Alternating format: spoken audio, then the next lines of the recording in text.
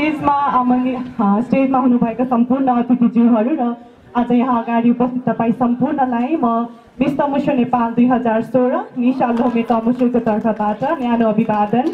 नमस्ते छ्याजालो।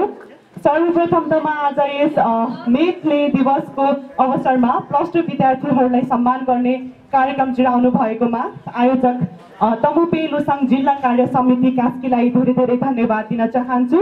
र यसै गरी यो सम्मानको लागि कोच स्थापनार्थ गर्नुभएको उहाँ उहाँहरूलाई पनि म धेरै धेरै धन्यवाद दिन चाहन्छु। विशेष गरी हामी तमु विद्यार्थीहरू पढाइमा निकै कमी कमजोरी हुन्छ। मेरो हुन त seventy one point six two percentage छ।